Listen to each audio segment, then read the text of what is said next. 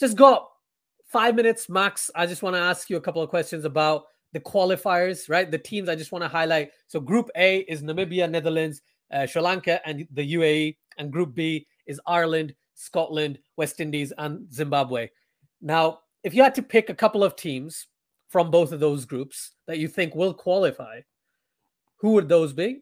And once we've talked about that, then I'm going to ask you about a player from both uh, from those teams. You know, I want to say Namibia. Yeah, I know you want to say Namibia because they did it last year. Exactly.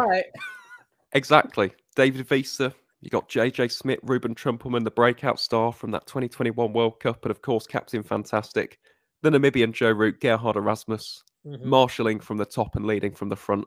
I think the Eagles are outside shout, you know. Genuinely, they are one of the real top risers mm. in T20I cricket, and they've got some good experience this year as well, having mm. played quite a bit of T20 cricket at the Wanderers in Windhoek. So watch out for Namibia. Hopefully, fingers crossed, they do get through. Um, but in terms of, of the favourites, I suppose, first and foremost, Sri Lanka. Yeah. Goodness me. Sri Lanka, winners of the Asia Cup. And they were playing Silverwood ball, weren't they? It was fantastic to watch. Their finishers are electric. Their top order is potent.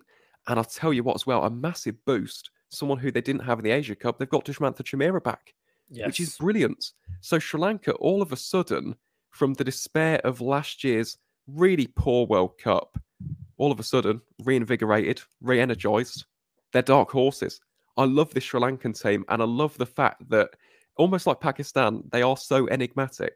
Yeah. On their day, they're magnificent. If they have a bad game, though, they're probably going to get bowled out for less than 100. Mm-hmm.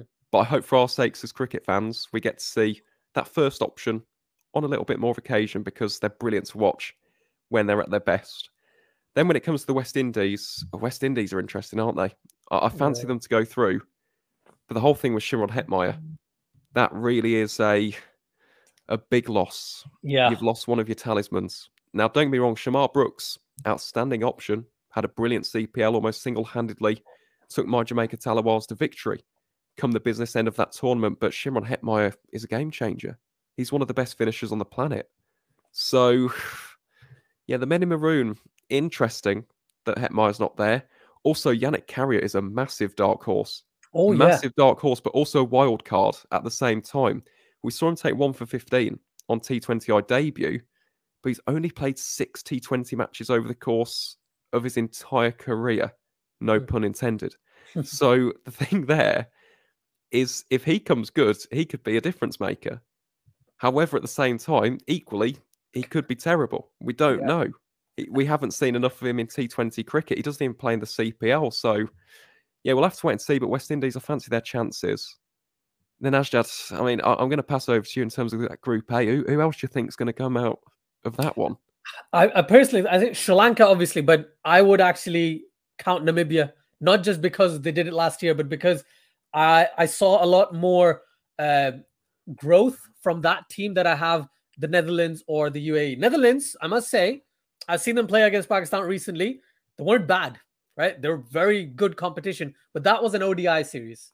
I mm. think a T20, if you're facing Sri Lanka and if you're facing Namibia, I think for me, Namibia is just slightly above Netherlands in terms of their T20 uh, T20 stature. UAE, unfortunately, outside of UAE or outside of Asia, I don't see them doing doing that much. So that's that's my take on it. Uh, and from Group B, Group B, I don't know. I think that Group B is the group of death from the it qualifiers, is. right? You've got four, actually three test playing nations, right? If Zimbabwe still counts, right? Zimbabwe yeah, counts. of course, Zimbabwe yeah, full yeah. member, and they got yeah. Luke Jongwe as well, who was outstanding in so, 2021. So West Indies is one of the sides, but I I, I think there's a slight chance. Uh, you might disagree with me, but I think Ireland Ireland's probably a better shout than the, than the other two, just because of the hard hitting batting they've got at the top of the order, and they have certain uh, a variety of bowlers who are able to extract a lot more from Australian conditions Josh than you know. Yeah, there we go. Right, yeah. then someone uh, from Scotland or Zimbabwe. But who do you think? Who's who's another option for yourself? Yeah, I, I do fancy Ireland. I've got mm. to say, Josh Little's going to be very interesting. I mean, he's yeah. had an outstanding 2022 across franchise tournament, so I'd fancy his chances. I think Zimbabwe, though, they're going to be interesting. Mm. I think, mm. again, in the batting department, it might let them down, but the they've got Luke So good. The They've Polish. got Luke Jongwe. he can do everything though. That's the thing. He can come and score 40 of 10 or 40 of 15 and then come out and take four wickets for like 12. Right? He's that type of bowler. And it's really annoying when it's Pakistan facing him because Pakistan can't find a way to face Muzarabani or Luke Jongwe. It's just like, oh, we don't know. I forgot about Blessing Rabbani, another fantastic bowler. But I agree, Zimbabwe's batting is the weak link yeah. from, from, from their side. Yeah. But they have got Ryan Burl. Even Ryan and Burl. Sikandar Raza. Dude, Sikandar Raza, great option. Great, like both great names. Sikandar Raza has been on a tear as well, hasn't he? Right, this this entire year. But if I look at Ryan Burl, he's not as consistent, right? And I think with Zimbabwe, you need someone who's a bit more consistent because they're going to lose really quick wickets quite early. And Burl bats at like three or four or five, right? He doesn't bat in the top order. Or am I, am I just making stuff up right now? He's the finisher. Yeah, exactly. Right. You got Burl, he finishes. Sikandar Raza is kind of a he bats in the top six. He doesn't bat in the top three, four. So they're going to lose early wickets, and that's the issue I have with Zimbabwe. And uh, trying to find a way to crawl back, yeah, of course. Burl can come and score 50 of 20 balls. Sikandar Raza can score 60 of 40. Right? They can do all that stuff. It's just because of that loss in the probably in the first five to 10 overs, that's going to be very, very hurtful from a Zimbabwe perspective, right? And I, and I want your thoughts because y- you know a lot more about other cricket nations like Zimbabwe, or even like if you go above associate but below like the top eight, as I keep calling them, just because I don't know how else to categorize those teams. But what do you think? Do you think Ireland or do you think Zimbabwe as the second team to qualify with West Indies? Or have we just discarded Scotland because we're like, eh, not going to happen? It's not that I love Scotland. I, I really do. They're one of my favourite associate nations and, and have mm. been for years. The only difference there, I think, is the seam attack in comparison to Ireland, because Ireland have got Josh Little. I think he's an X factor.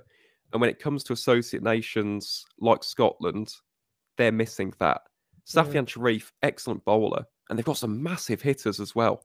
Big, big hitters. Calum MacLeod, really yeah. underrated hitter yeah, yeah. in T20I cricket. But I just feel like that that what would I say the the difference in caliber yes. between the sides in Group B will probably be a little bit more apparent than that of Group A, mm-hmm. where the sides are a little bit more well balanced. So it's unfortunate for Scotland, and they must have been pretty livid to have been drawn in that group, to be honest. Because yeah. if you swap one of the teams out from Group A, you'd fancy their chances to go through. Uh-huh. But I just think that West Indies will probably top that group. Yeah. And then I think it will be the winner of Zimbabwe Ireland. And that's going to be a really interesting game. Because if Ireland go through, Paul Stirling, we talk about difference makers. He's one of the most powerful openers on the entire planet. Yeah. If he gets going, he can score 100 from 40 odd balls. He's that kind of player. So we're going to have to wait and see. It's going to be very interesting that game in terms of who I would say would come out on top. I quite fancy Ireland, to be honest. Yeah. I think they'll be disappointed after last year.